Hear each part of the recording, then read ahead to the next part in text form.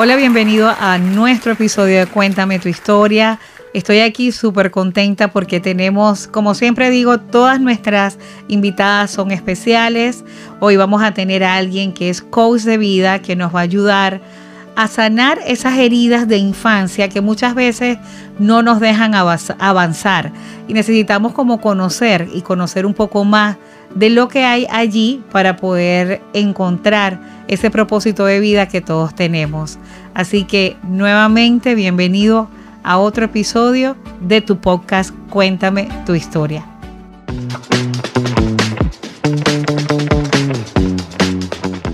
Estudio donde ustedes pueden venir a hacer sus podcasts y les va a servir. que no quiero que ella lo lea.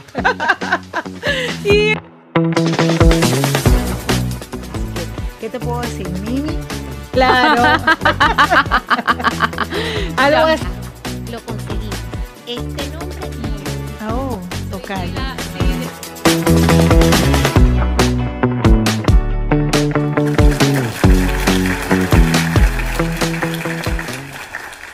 Hola Victoria, bienvenida a este programa. Estoy súper feliz de que estés aquí con nosotros, eh, compartiendo pues un poco más de tu experiencia Vi que eres colombiana. ¿De qué parte eres exactamente? Yasmina, muchas gracias por la invitación. Bueno, yo eh, sí, soy del Tolima. Eh, Tolima queda por, yo no conozco muy bien.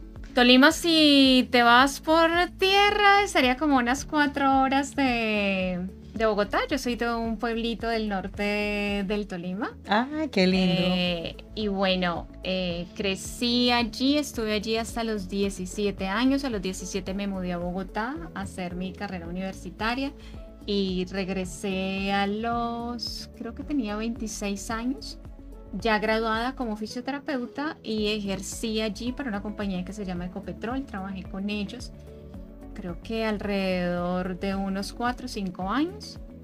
Y entonces me vine a Estados Unidos. Ah, eso te iba a preguntar. ¿Tú llegaste aquí a Estados Unidos ya después de graduada? Sí, llegué a, a Estados Unidos graduada como fisioterapeuta. Exacto. ¿Verdad? Ya el camino hacia el coaching, que es lo que ahorita ejerzo, pues vino mucho después. Me gustaría que tocáramos un poco ese tema. Hay algo que me impactó cuando leí tu historia y es que tú eres en este momento, te encargas 100%, eh, eres coach de vida y te encargas de ayudar a las personas, corrígeme si me equivoco, a sanar heridas de infancia. Sí. Háblanos un poco sobre qué es lo que, qué es lo que haces exactamente en este momento. Bueno, en la parte del coaching como tal, eh, me dedico justamente a lo que has dicho, no hay, no hay mucho por corregir. Tuve un proceso en el pasado cuando llegué a Estados Unidos justamente. Sabes que todos tenemos un punto de inflexión en la vida, ¿verdad? Sí. Todos, absolutamente todos. Y bueno, a veces tenemos más de uno, pero hay uno que marca en particular. Que siento que es necesario a veces que todos pasemos como por ese punto de inflexión. Totalmente. si no se pasa, no se aprende. Si no se pasa, pues simplemente no se crece. Así es. En mi caso, pues fue eh, definitivamente el divorcio. Creo que ha sido en ese momento eh, de las cosas más fuertes que se han podido vivir. Hasta el día de hoy considero que una herida de divorcio es de las más fuertes y más difíciles de restaurar. Ah, pero en ese entonces creo que le, extendí mi duelo más de la cuenta sin, sin entender muy bien por qué, ¿verdad? Y buscando ayuda, buscando la manera de entender mis emociones, de saber por qué no salía de ese círculo de, dolor tan profundo, de saber cuál era la razón por la que prácticamente había olvidado cuál era mi verdadera, verdadera identidad, ¿no? Mis valores, okay. Eh, mi autoestima reducida totalmente pues vengo a descubrir lo que es el coaching. Eh, un día cualquiera en una publicidad encuentro la información de alguien que hasta hoy es supremamente especial para mí, mi propia coach de toda la vida. ¿Cuál es su nombre? ¿La puedes decir? claro que sí, su nombre es Sandra Flores, un, ángel ah, completo en, en mi vida y en la vida de muchas personas. Empiezo sesiones de coaching con Sandra Y normalmente cuando llegas desde una herida y estás jugando desde el papel de víctima, mira lo que me pasó, mira lo que me hacen, mira lo que me ocurre, siempre llegas a buscar culpables, ¿no? Y a buscar quien, quien te, te haga eco de esa voz de sí, qué mala la vida, qué mala esta persona, qué malo lo que te hicieron. Pero con ella fue totalmente distinto. Con ella y la herramienta del coaching pude descubrir que no eres víctima de absolutamente nada. En cambio, sí eres responsable de lo que vas a hacer con ese proceso que estás viviendo. Me encanta, porque fíjate que normalmente nosotros escuchamos que o tenemos a veces a nuestro alrededor personas que nos ayudan a victimizarnos más y que en este momento o que en ese momento pues ella más bien te ayudó a, bueno, a las palabras que dijiste, pues a, encontrarle, a verlo desde otro punto de vista. Qué bonito. Totalmente, fue, fue muy bonito, además fue muy liberador, porque cuando lo ves así, lo primero que se retira es el enojo. Es verdad. ¿Verdad? Lo primero que descubres es ya no desde ese lado un poquito sarcástico y un poquito herido en el que a veces oyes a la gente decir, no, pues gracias, me hiciste un favor. No, de verdad, logras ver el amor detrás del dolor que se causó, ¿no? El regalo, eh, creo que alguna vez leí por ahí que Dios envolvía sus mejores regalos en papel periódico. Es algo así, es descubrir eso que alguna vez pensé que era lo peor que podía pasarme, los regalos abundantes que más adelante trajo para mi vida, pero además para la vida de otras personas, porque yo recuerdo que cuando terminé sesiones con, con Sandra, y creo que estuve casi un año trabajando en esto, lo último que recuerdo haberle dicho fue, algún día yo quiero hacer por las mujeres lo que tú has hecho por mí.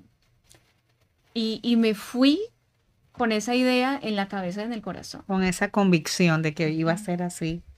Totalmente. Y bueno, por el camino, cuando cambié mi mentalidad, cuando recuperé de nuevo esa memoria de mi propio valor, cuando se dio un perdón real hacia todo lo que había pasado, las circunstancias, las personas, cuando genuinamente eh, me permití abrirme de esa manera, eh, todo afuera cambió. Y es que es verdad, no hay que buscar el cambio allá, el cambio está acá. Tú cambias y tú sanas y afuera empiezan a aparecer milagros. Y dentro de esos milagros, muy con el tiempo, ya totalmente sana, eh, vuelvo a casarme. encuentro una persona de esas que por lo menos para mí es una en un millón. Un angelito, como decimos por allí. Un complemento ideal para mí. Estaba yo en ese momento ejerciendo como auxiliar en fisioterapia aquí. Y él un día notaba que la gente me llamaba mucho y de repente eran conversaciones de consejo va, consejo viene. Y un día cualquiera me dice, yo creo que tu llamado está es para eso. Y, y le cuento los sueños que he tenido, le cuento la propuesta que yo misma he tenido en el corazón y me apoya en ese momento no eran nada. Sí, sí, sí. Ya, ya, estaba, ya te había conquistado. Juntos, total. ya, ya estábamos juntos y me dijo, bueno, si eso es lo que te gusta. Y claro, viene, viene de repente esos miedos de, pero soy muy grande, ya tengo 40 años para... Allí es donde yo quería como que eh, ahondar un poquito, porque tú eras fisioterapeuta, te graduaste de fisio, ¿cómo es que se dice? No sé. Fisioterapeuta en Colombia. Fisioterapeuta. Y aquí ejercías como auxiliar en terapia física. Exacto, que seguiste como de una u otra forma la misma línea. Claro, es lo que había aprendido a hacer. Exacto, fíjate, y hubo ese cambio, eh, porque fue cuando, bueno, vamos a entrar en ese tema donde tú encontraste como que tu verdadero propósito de vida no era ser, en este caso, fisioterapeuta, sino que lo encontraste a través de esa experiencia que te tocó vivir y descubrir eh, que es el coach de vida exactamente. Ajá. Sí, sí, Qué bonita, de verdad que sí. Sí, ese eh, fue algo que surgió debido al proceso que pasé, pero que surgió con un compromiso muy grande y era hacerlo con excelencia. Entonces, bueno, estuve un tiempo eh, haciendo diplomados, preparándome y luego termino haciendo un máster en Madrid. Eh, cuando me graduó en, Madrid, España, eh, y lo termino, pensé que me iba a dedicar netamente al núcleo de las divorciadas, porque obviamente es un núcleo con el que tengo demasiada empatía. Pero cuando empiezo a trabajar con ellas, me doy cuenta que el 99.9% de ellas tenían un factor en común en sus rupturas que también lo había tenido yo, y era el descubrir que se había dado con una raíz que venía derivada de heridas que habían tenido en su infancia. Y entonces digo, es impresionante, pero los matrimonios son asociaciones que hacemos con otro niño herido que trae su propia maleta, yo traigo la mía, y si no lo hemos sanado, un día cualquiera nos encontramos con que el amor no basta cuando todas esas heridas se enfrentan y normalmente termina en una fractura matrimonial que duele y que es difícil de superar. Pero además pude ver que esas heridas se manifiestan no solo a la hora de llevar un matrimonio.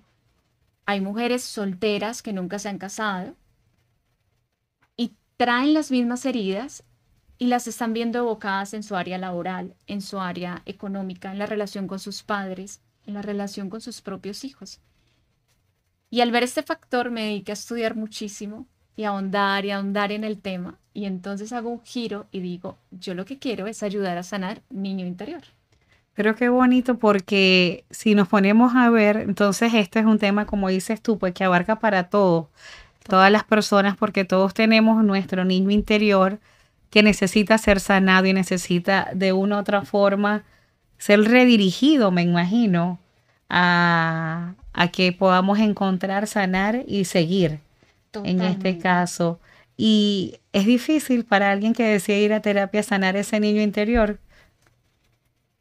Bueno, coaching es más acompañamiento que terapia, ¿verdad? Es más un acompañamiento donde yo siempre le digo a los coaches, que en este caso son nuestros clientes, no estoy aquí propiamente para aconsejarte, pero estoy aquí para acompañarte a descubrir que todas las respuestas las tienes adentro, solo que no las has querido ver, no las has querido liberar por X o Y motivo. No es difícil, pero es muy doloroso. Y siempre se lo advierto, tengo que ser sincera con eso, soy sincera desde el primer momento. Eh, yo he tenido mujeres que manifiestan después de empezar en ese proceso muchísimo dolor emocional, pero muchísimo dolor físico también. Manifestaciones físicas, dolor de cabeza, eh, neuralgias, muchas cosas los primeros días. Por la misma presión de descubrirse o... Probablemente por eso, por abrir esta caja de Pandora que muchas veces no he querido, cuando una herida de infancia está muy arraigada y entre más dolorosa haya sido, curiosamente lo que hacemos es borrarla. Un niño que en su infancia sufrió, eh, vamos, a, vamos a hablar de los casos más difíciles, un niño que tuvo abuso, es un adulto que probablemente ni lo recuerda, porque el niño lo que hace es borrarlo para crear un caparazón y, no ser más vulnerable ante ello y además olvidar esa memoria tan dolorosa. Pero cuando es adulto y alguien medio toca esa herida con una actitud, con una palabra, con algo que lo haga sentir eh, prevenido o asustado, responde en automático y no sabe por qué está respondiendo así porque ha olvidado que vivió algo así. Uno diría, pero ¿cómo uno va a olvidar algo así?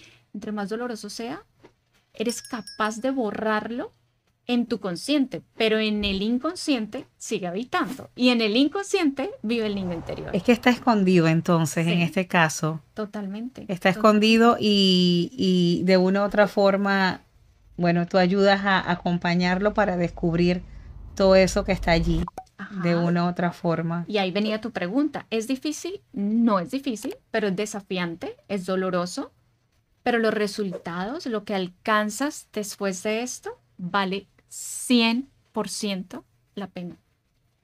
no importa, al final, siempre la satisfacción que tienes de decir, prefiero haber pasado por este dolorcito que me genera ir a escarbar allí donde yo no quería y obtener los resultados, los desbloqueos literal que estoy viendo en distintas áreas de mi vida en la adultez, que quedarme así toda la vida, solamente por no tener la valentía, tal vez. Yo creo que esa es la palabra correcta, la valentía. Y está lleno de valientes. Sí. Ese, ese proceso y es hermoso ver a estas mujeres elegirse a ellas primero y decir, yo voy a salir de esta situación.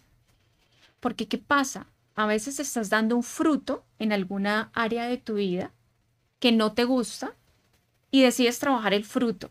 Necesito que este fruto sane, lo limpio, le hago, le deshago y me sana un ratico y luego vuelve y aflora de la misma manera. Es una metáfora que utilizo para que entendamos que el problema es que no debo ahondar en el fruto, tengo que ir a la raíz. Si la raíz no sana, los frutos te van a seguir saliendo igual.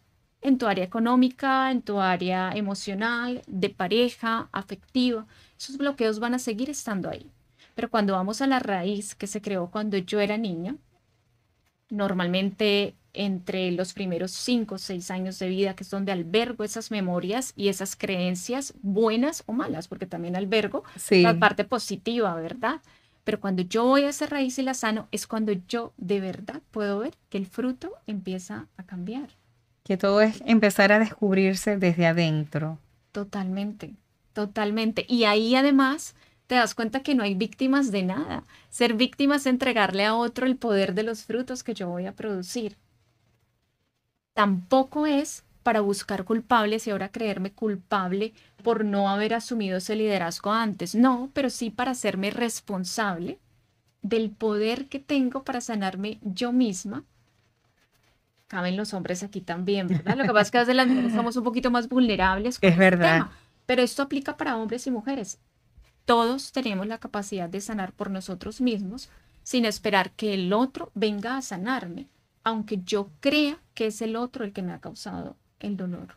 No, pero qué bien que de una u otra forma, este, la gente tiene que tomar la decisión también, pues, porque yo creo que eso es algo que nadie te puede obligar, porque si tú lo haces obligado, creo que el resultado no va a ser el mismo. No, para nada, para nada. De hecho, a veces tengo madres de familia que envían a sus hijas y siempre les digo, si no viene por voluntad propia, no se va a poder. Esto es un llamado. Uno siente cuando toca fondo y cuando de verdad dice, yo necesito hacer algo diferente, yo quiero hacer algo radical. Pero tener la intención y no ejercer la acción se queda solamente en una ilusión. En una ilusión. la ilusión de hacer esto, pero de ahí a que se haga realidad, no se va a hacer realidad hasta que no tomes acción y responsabilidad sobre lo que te está pasando. Sabes que de todo lo que ha dicho, una de las cosas que me ha quedado también, bueno, creo que todas nos van a quedar y nos van a ayudar a quienes os escuchen, es que no hay edad. A veces nosotros creemos que porque ya tenemos cierta edad, ya tú es tarde o ya tú te sientes como que muy adulto para lograr eso que tú quieres. Y realmente no hay ninguna edad para cambiar. Y si es para cambiar para mejor, menos. Entonces, qué bonito que podamos rescatar de tu propia experiencia que de una u otra forma nunca es tarde para lograr eso que tu corazón anhela. Totalmente. Además, Yasmina, ¿cómo le vamos a poner edad? Si no importa si yo tengo 55 años y estoy en un proceso de sanidad, por favor, tienes hijos y no vas a querer que ellos repitan esas historias. Si lo hago, lo hago por mí, pero al tiempo que estoy sanando yo, estoy previniendo que otros adquieran las mismas heridas porque yo de manera ciega y sin querer se las transmita. Es muy bonito cuando las mujeres vienen a sesión y dicen, ay, yo he estado haciendo eso con mi niño y no me he dado cuenta. O sea que esta es una sanidad que abarca no solamente tu vida, sino abarca todo un clan familiar. Y el deseo de que los patrones repetitivos que no nos gustan se corten en nosotros, pero también en ellos. Y para eso nunca será tarde. Por eso hay que tomar la decisión. Siento que, sobre todo, yo, no es que es un tema más de mujeres, es que yo siento que, y con el permiso de todos los hombres, pero creo que las mujeres somos un poco más valientes o más vulnerables. Más eh, vulnerables. Yo creo que más vulnerables eh, eh, en abrirnos en estos temas y, y, querer dar ese paso, pues, de de, cambio, de que hay algo que, cuando hay algo que realmente no nos está o nos está incomodando, sería la palabra es cuando hay que, hay que buscar pues esas ayudas. Generalizar no es tan bonito, ¿verdad? Hay hombres sensibles y yo he tenido verdad. hombres en consultas, pocos, pero los he tenido. Pero es verdad que a veces al hombre le cuesta ser vulnerable más delante de una mujer. O estos temas, este tipo de procesos llevan involucrados, no voy a decir que no, muchas lágrimas. Y a veces para un hombre es difícil llorar frente a una mujer, ¿verdad? Pero hay los que no tienen problema con ello y, y no los hacen más ni menos hombres, por supuesto, sobra decirlo.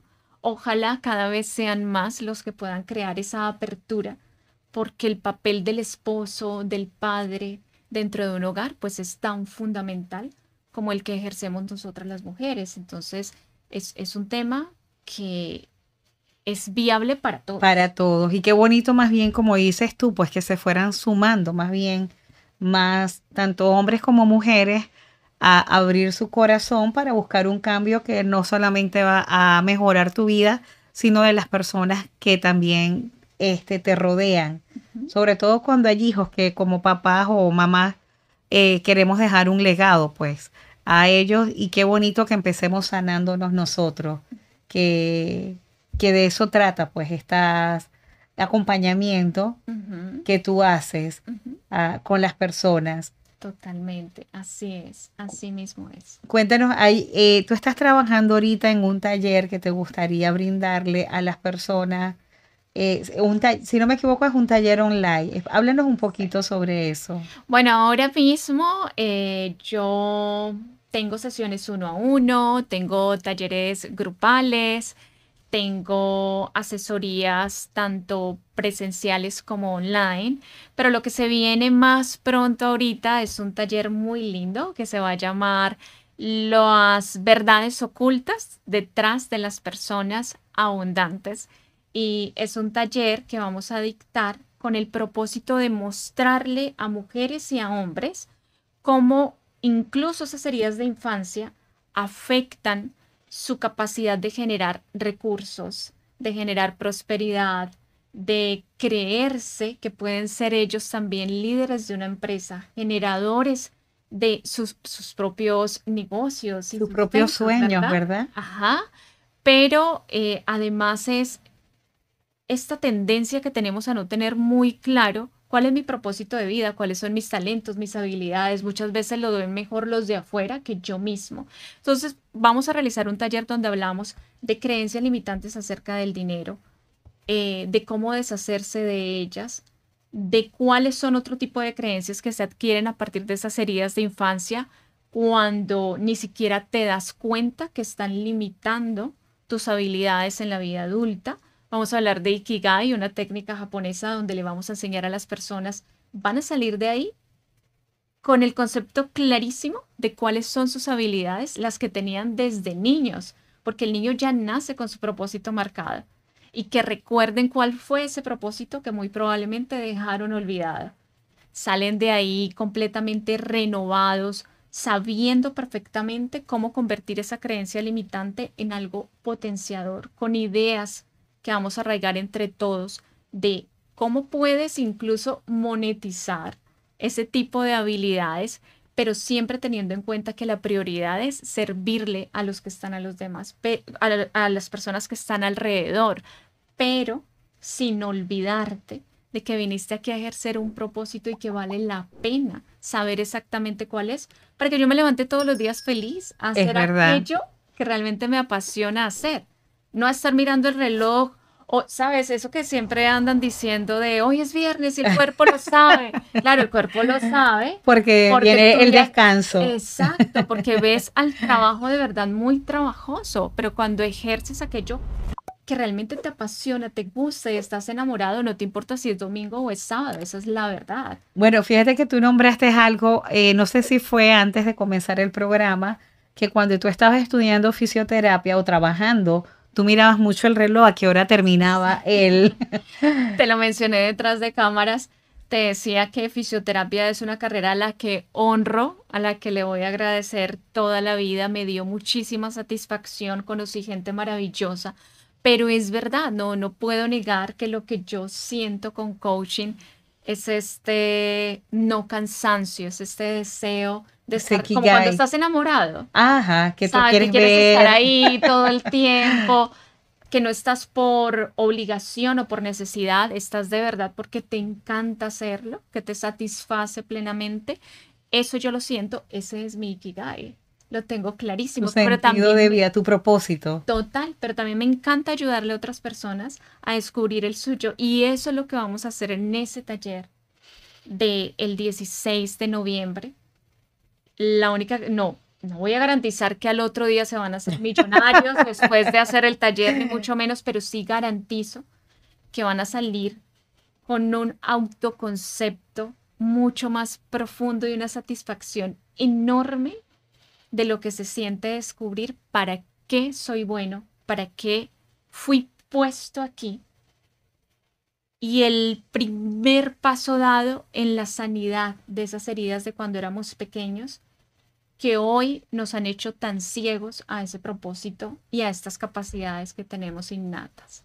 Qué bonito que, ah, bueno, a todas aquellas personas que quieran inscribirse van a poder eh, hacerlo a través de tu página de Instagram. Sí, pueden. ¿Cuál es la información de tu página para...? Claro que sí, pueden ir a mi página de Instagram, que es Victoria Rojas, raya al piso, Life Coach, y enviarme un mensaje privado. También está allí mi página web, pueden enviar un correo electrónico desde la página web y también en la página web encuentran el enlace directo para poder hablar conmigo a través de mensaje por WhatsApp en mi número eh, personal y de negocios. O sea que hay muchas vías. Todas las posibilidades. Nadie puede decir que se perdió. Exacto. Tienes allí muchas vías donde encontrarla, sobre todo de aprovechar, como estábamos hablando, creo que este, detrás de cámara también de lo importante y lo necesario que es conocer estos temas porque como lo has dicho con experiencias que has tenido con tus propios pacientes, que de una u otra forma eh, vas a transformar tu vida. Y qué bonito vivir de, con nuestras vidas agradecido, pues a eso que te encanta hacer y de que lo que te gustaría vivir. Qué bonito tener eso, eso claro y esto nos va a ayudar, pues este taller va a ayudar a todas las personas que lo puedan hacer eh, a encontrar pues ese Ikigai, ese propósito de vida y a sanar eso que está allí adentro y que a veces no sabemos, a veces ni entendemos nosotros mismos qué es lo que existe. Y para eso hay personas como tú que nos guían para encontrar y descubrir qué es, qué es eso que está allí y poder, bueno, ya no victimizarnos más, sino todo lo contrario, pues ver lo bonito que nos tiene la vida. Esto no solamente es para quien viva en el área, sino que es un taller online. Creo que lo pueden realizar de cualquier lugar, ¿cierto? Desde cualquier parte, porque vamos a estar vía Zoom, simplemente a través del enlace ingresan. Es un taller, yo te lo decía antes, eh, mi mayor consigna es cuando se hace un taller, las personas deben salir al final del taller sabiendo que el taller valía 10 veces más de la inversión que ellos hayan hecho y en esta oportunidad es un taller supremamente accesible porque mi idea es justamente que puedan pagarlo tanto personas que estén en Colombia, Venezuela, Estados Unidos con la misma facilidad en cualquier tipo de moneda. Lo estamos haciendo en noviembre, que es justamente acción de gracias para nosotros y de todo corazón es una manera que quiero tomar para agradecer lo que en todo este año Dios me ha permitido eh, sacar adelante con este sueño del coaching, verlo hecho realidad, ver tantas personas restauradas, transformadas y pretender que nadie se quede por fuera de eso. Bueno, y, qué bonito porque es una forma, como dices tú, de agradecer por, porque es más lo que vamos a recibir que lo que al final al, este, vamos a ver como eh, el costo pues del mismo. Esto realmente al final es más lo que vamos a recibir. Yo quisiera eh, hacerte una pregunta ah, eh, ya más adelante para concluir.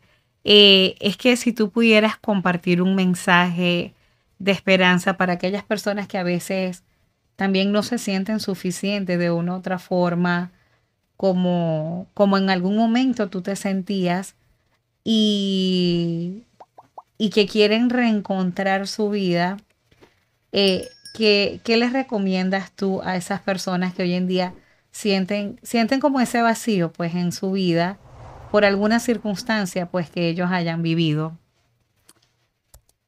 Hay una frase que me gusta mucho, no es mía y no conozco el autor, pero tiene una sabiduría impresionante y es, tu dolor individual tiene un propósito colectivo.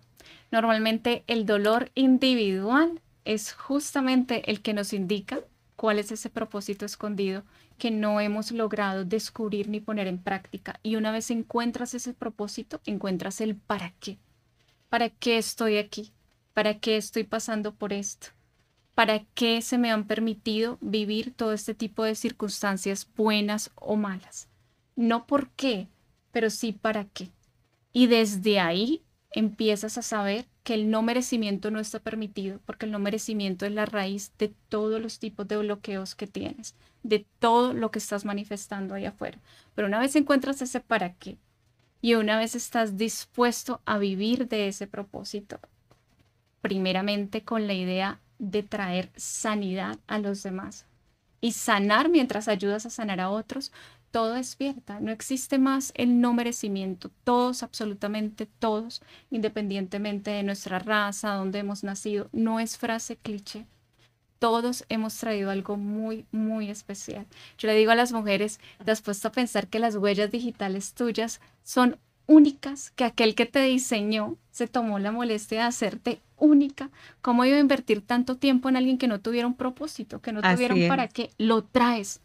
La clave es cuándo te vas a dar el permiso de descubrirlo y de permitir que todos esos pensamientos oscuros y ese no merezco, no soy suficiente, no puedo, se desborden por sí solos y encuentres, puedas verte a ti misma con los ojos que Dios te ve. Me encanta. Yo creo que no puedo agregar más nada porque realmente este eres suficiente. Cada quien somos suficientes.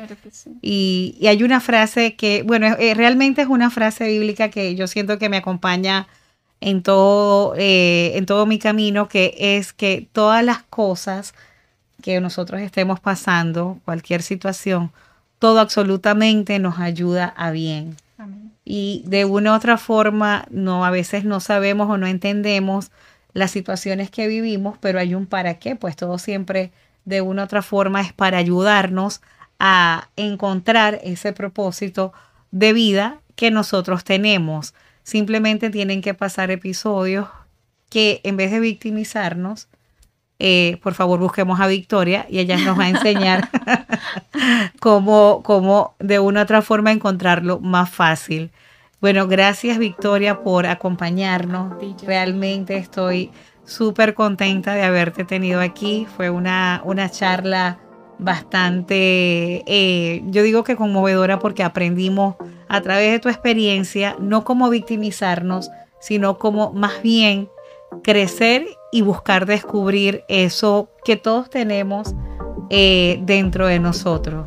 Así es. Muchísimas gracias a ti por la invitación, por esta oportunidad para transmitir un mensaje que de verdad lo traigo desde el corazón.